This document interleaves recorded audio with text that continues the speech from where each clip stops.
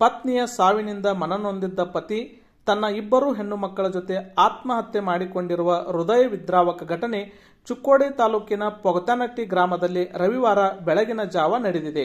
ಆತ್ಮಹತ್ಯೆ ಮಾಡಿಕೊಂಡ ದುರ್ದೈವಗಳ ವಿವರ ಹೀಗಿದೆ. ನಲವತ್ತೆಂಟು ವರ್ಷದ ಕಾಡಪ್ಪ ಪ್ರಧಾನಿ ರಂಗಾಪುರೆ, ಈತನ ಮಕ್ಕಳಾದ ಹದಿನೆಂಟು ವರ್ಷದ ಕೀರ್ತಿ ಹಾಗೂ ಹದಿನಾರು ವರ್ಷದ ಸ್ಫೂರ್ತಿ ನೇಣು ಬಿಗಿದುಕೊಂಡು ಆತ್ಮಹತ್ಯೆಗೆ ಶರಣಾಗಿದ್ದಾರೆ. ವಾರದ ಹಿಂದೆ ಚನ್ನವ ರಂಗಾಪುರೆ ಸಾವನ್ನಪ್ಪಿದ್ದರು. ಪತ್ನಿಯ ಸಾವಿಗೆ ಮನನೊಂದು, ಪತಿ ಆತ್ಮಹತ್ಯೆಗೆ ಶರಣಾಗಿದ್ದಾನೆ, ಜೊತೆಗೆ ಇಬ್ಬರೂ ಹೆಣ್ಣುಮಕ್ಕಳು ಸಹಿತ ಆತ್ಮಹತ್ಯೆಗೆ ಶರಣಾಗಿದ್ದಾರೆ ಎಂದು ಪೊಲೀಸ್ ಮೂಲಗಳಿಂದ ತಿಳಿದು ಬಂದಿದೆ. ಘಟನಾ ಸ್ಥಳಕ್ಕೆ Chikkodi DySP Manoj Nayak, CPI R Patil PSI Rakesh Bagali ಭೇಟಿ ನೀಡಿ ಪರಿಶೀಲನೆ ನಡೆಸಿದ್ದಾರೆ.